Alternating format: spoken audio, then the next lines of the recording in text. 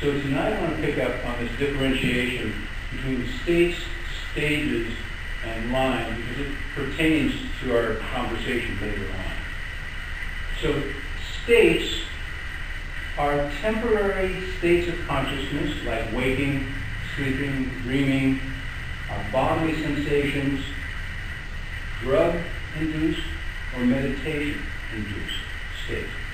I've underlined temporary because that is the nature of them. So uh, somebody cuts me off in traffic, I'm really pissed, I flare up, I kind of go into um, killer mode, right? And then it passes away. It's a state of consciousness that comes and goes. That's the defining nature of states. Stages, which is what we have actually talked about more as we have uh, been presenting this, stages are developmental structures that tend to be permanent. They stay. So uh, once you have figured out as a baby that you have a body, you don't lose that. Okay? Once you have learned certain developmental skills like how to be semi-social and get along with other people, once you've learned it, you keep it and then you build on it. So stages are sequential. They build upon one another and they stay there. And then what are called lines of development are different aspects of ourselves, like our cognitive abilities, our emotional maturity, our spiritual progress. All of those have their own developmental trajectories. Alexander's an expert, so jump in I'm not getting this right.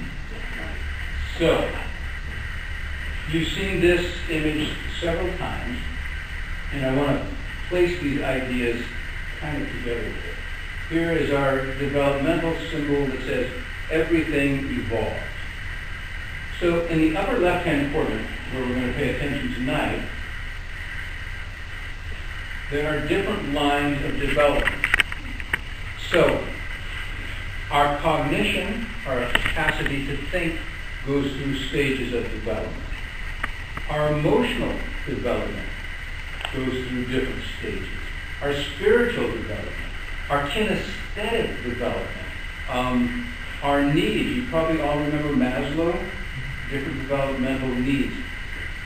The estimate is there's between one and two dozen different semi-independent lines of development that have their own trajectories of development. They're, they're woven together, but they have a certain independence.